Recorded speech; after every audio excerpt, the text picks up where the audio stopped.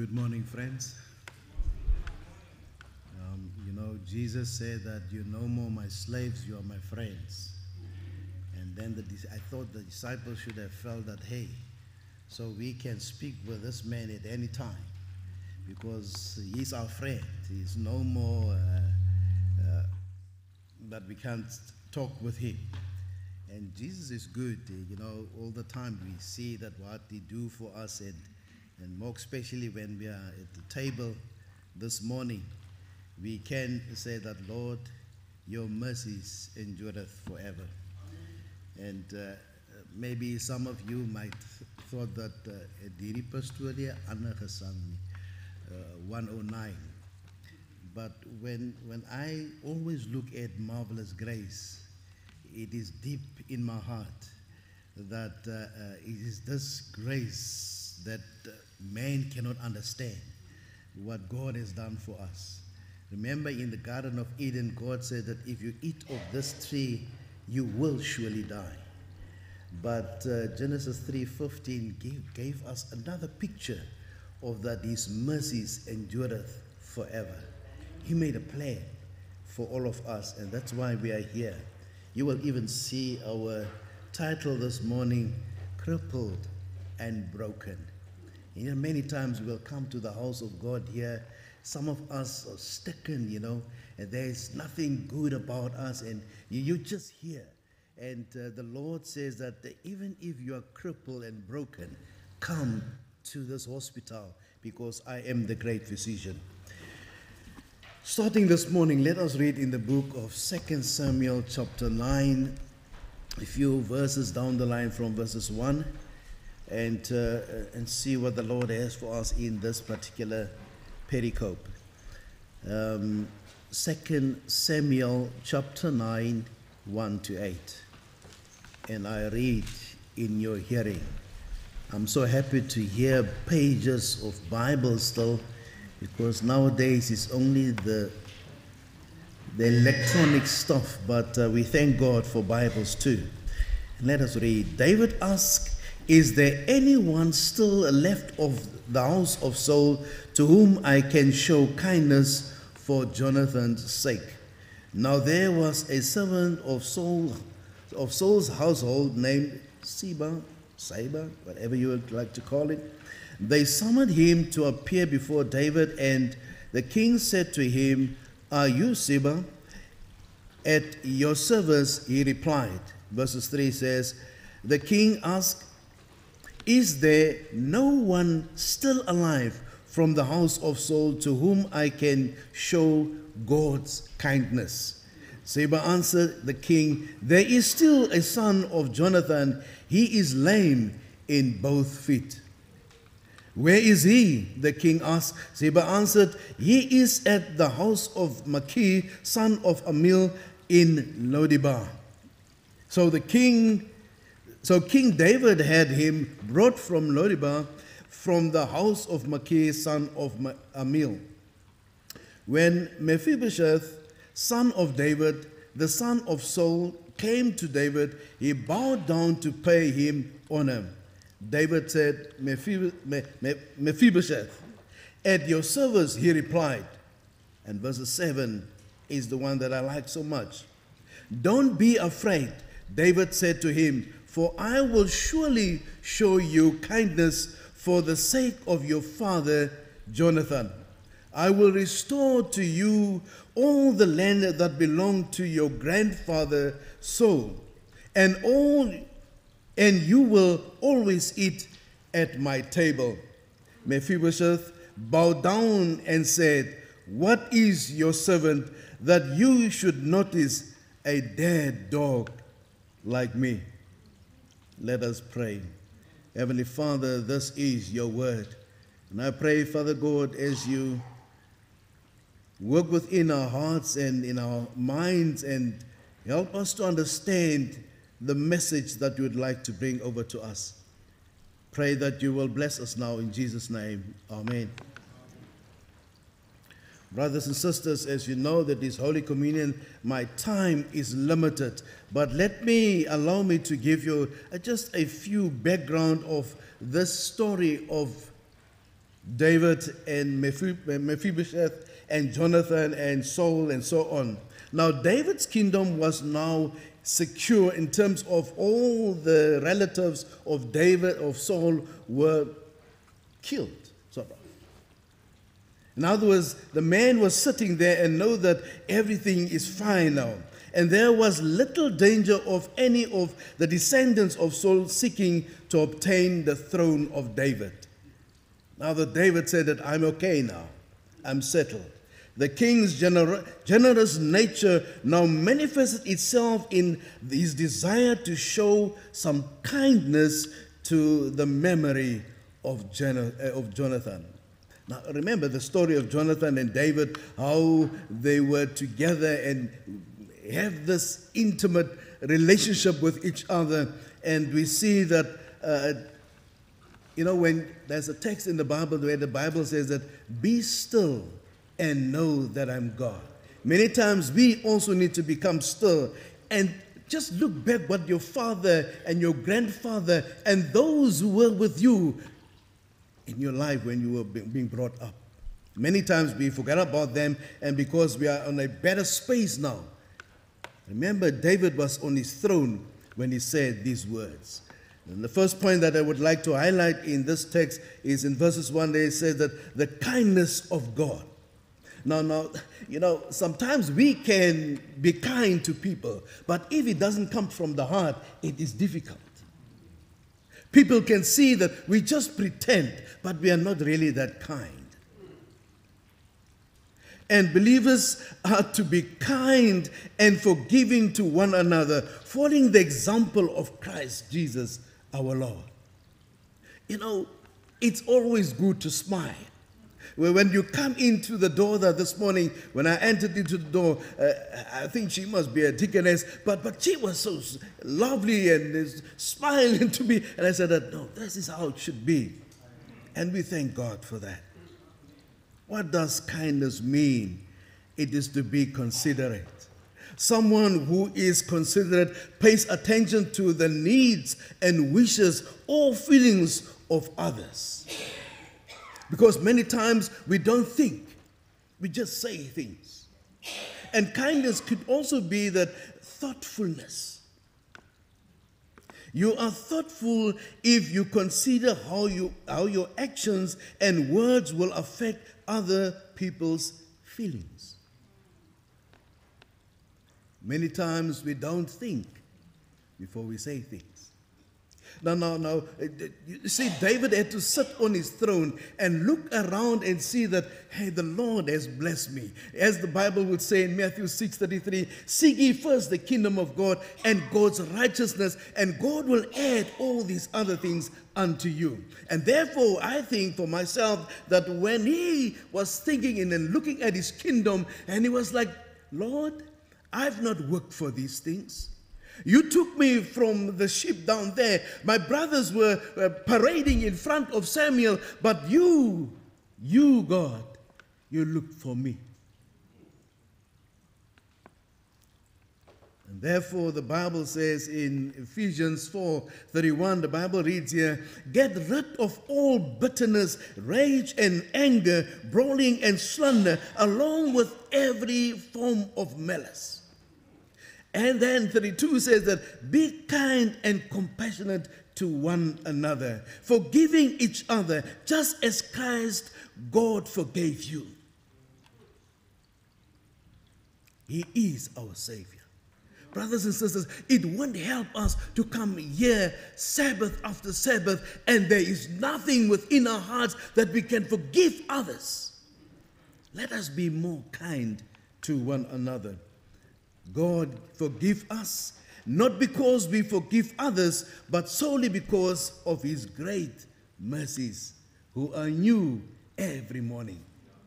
His great mercies. And you know, you just wake up and you open your eyes and you see you're moving around. You get to the bathroom, you say that, Lord, thank you. I can see I'm still the same person like last night.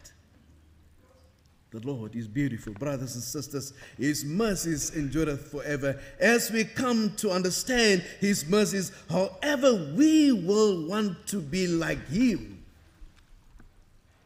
As we understand how kind God is to us, we will understand that, hey, let me also be kind to my brother and my sister.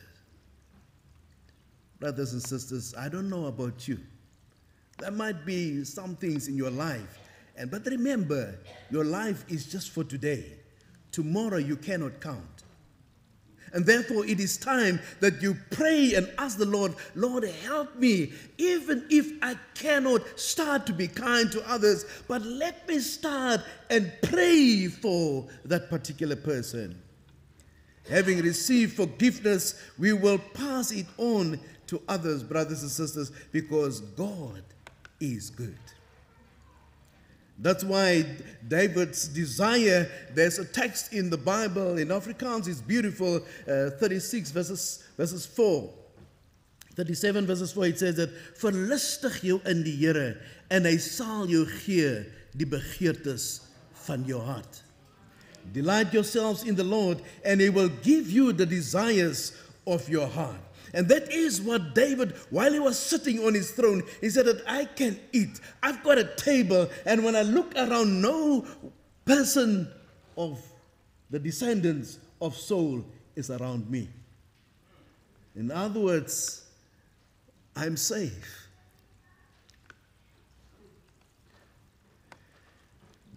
David's desire was to do good to his old friend, Jonathan. Remember, Jonathan was supposed to be second, or rather, to take the kingdom from his father. But you know what? You were not able to understand what the two uh, went through. It was like, Jonathan, are you real? But yes, when God is with you, you will be real. That's why it is in Psalms 23 where it says that, what does it say? The Lord is my shepherd. Not, I'm not including others. It begins with me. Is my shepherd. On my table, I lack nothing because I know that goedheid en guns sal my altyd volg. Brothers and sisters, David was determined what about me and you, brothers and sisters? Can we show kindness to each other, or is that bitterness and anger still there?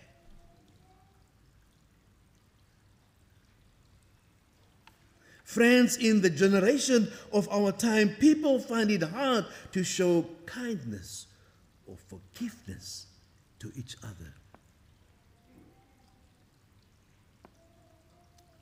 As David said that, or rather, as Paul says that, forgiving each other just as in Christ God forgave us. Remember the Our Father? And sometimes we pray that prayer, but it's not from the heart. You remember the I surrender? We sang the songs, but we don't mean it. I surrender all Jesus does not just show us kindness, but he gave his life for me and you in order to have life, and not just life, but life in abundance. And that is what God has done for us, brothers and sisters. David was on his throne when he sat in eh, eh, and, and, and, and he meditated how to show kindness to somebody out there. But we've got somebody out here We've got somebody who have done it more than abundance. He says that, but Jesus was on the cross when he said to his father, Father, forgive them because they don't know what they are doing. David might sit on his throne and say that I want to show kindness to somebody out there. I want to be merciful to somebody out there, but it must be a descendant of Saul.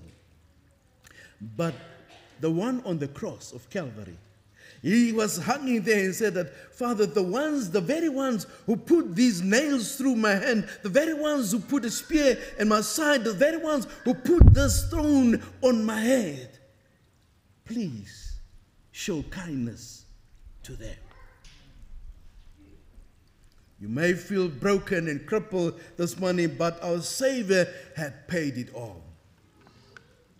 He has paid it all. It doesn't matter where you are in Lo Debar this morning. You, you, God is, will call you back and say, Come back, my child. I want you to sit at my table. Friends, as Mephibosheth was called from Lo Debar, he never thought that he would ever sit with the king at his table. There's no way.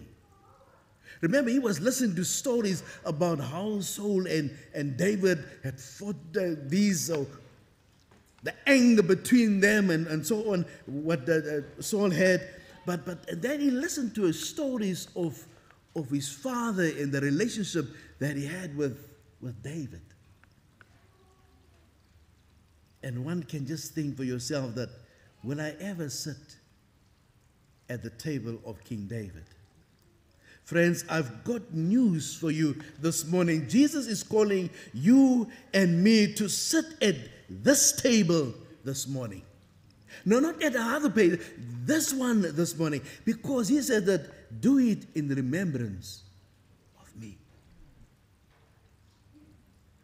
David, yes, that young boy could sit at the table, but this table is different. This table is that is to say that you are the only savior, you are the only redeemer. Yes, you are the only deliverer. Jesus is his name. David said to Mephibosheth, You will always eat at my table. Jesus said to the thief on the cross, He said to him that today I'm telling you, you will be with me in paradise. Praise God. Brothers and sisters, each time when you read the scriptures, you can see that how God is putting things in place in order for just to bring us closer to Him. There is an eternal life. Jesus is coming. Point is that will you be there? And will I be there?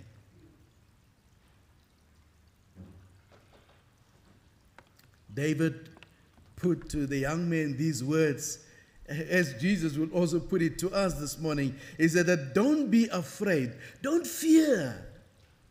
Relax, you're in the presence of royalty. You're in the presence of the King of Israel. Brothers and sisters, family and friends, anyone in the footsteps of on the in the in the boots of uh, Mephibosheth, uh, you will also feel that no no no no I can't do this. Uh, he's going to kill me. The life of this descendant of Saul depended upon the attitude of the king. You, you didn't hear that.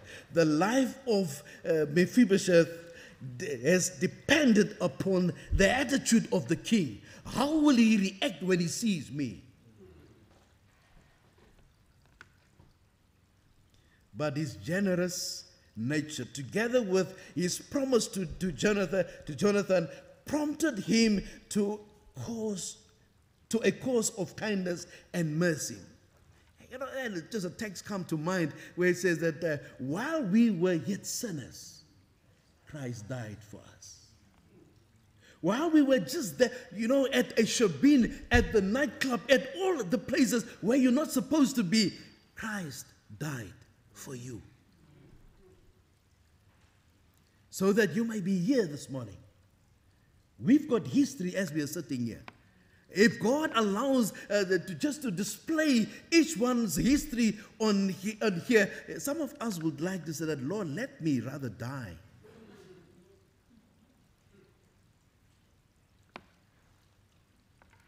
Mephibosheth, brothers and sisters, he was like, No, I can't do this. The life of this descendant was dependent upon the attitude of the king. But uh, the nature, you know, there's always this thing that, that, that you need to have this relationship with God. And, and, and you know what? Psalms 51, verses 10 says, Create in me a pure heart, O God, and give me a steadfast spirit. In other words, when I want to be generous and good and kind to others, it needs to come from the heart.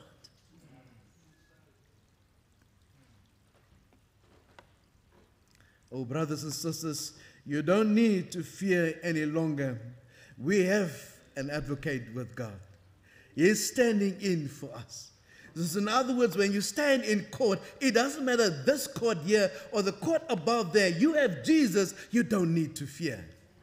Because he said, I am your God. He is our advocate.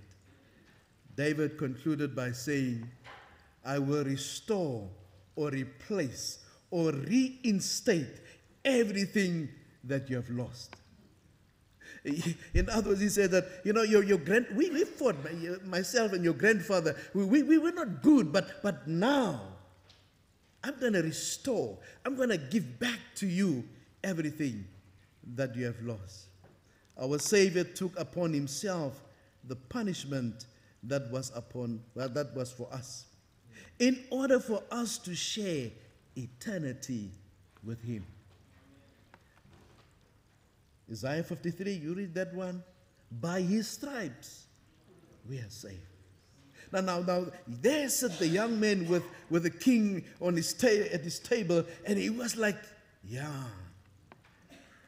You know, sometimes, brothers and sisters, we might be kept in Lo Debar vastgevang through different types of things in your life. But when God calls you, He will catch you. And this morning He says that, Come now, let us reason together. Though your sins be like scarlet, I, the Lord, will wash them as white as snow. He is still that Savior. He is still that one who says that I've put everything upon my soldiers.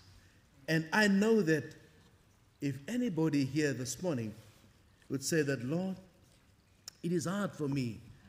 Many times I come here crippled and broken. There are so many things that happen in my life that I never know that it, it will never get right. Because I know that I've went through these things almost alone. Then the Lord says that, No, my child, when you go through deep waters, I was there with you. When you go through fire, I was there all the time. You ask the three Hebrew boys, when they were walking in that fire, I was there. When Daniel was in the lion's den, never thought that he will come out alive there. He said that, No, my son, I will close their mouth and even if I had to turn them to eat grass and no more flesh, I can even do that as well. But this time around, you will be alive because I am the one who will give you that life. Brothers and sisters, as I conclude, yes, friends, we feel crippled this morning, but Jesus says that I am the one who is the resurrection and the life. And I would like to conclude with this text in Revelation chapter 21, verses 4. And the Bible reads here as follows And God will wipe away every tear from their eyes. And I just thinking of that young man. While he was sitting there, his ankles broken, knowing that there's no more hope for him in life. Never will he ever see royalty in his life and God came through for him. And that's why our Savior says that He will wipe every tear from their eyes. There shall be no more death, no sorrow, no crying. There shall be no more pain, no, for the former things have passed away. Yes, Lo Debar, I know I was staying there, but it was not so good. Many times I didn't have anything to eat. But now I can sit at the table of the king. But, brothers and sisters, there's another table, and it's this table. Don't go away from this table because it's this table that will lead you into the kingdom of heaven, where the Lord will say that I will wipe away your tears. Yes, pain will be, will, will be there no more. Death, even so. And he said that I will make all things new. May the Lord bless you and keep you. May his face shine upon you this morning and may he give you peace in his name. Amen.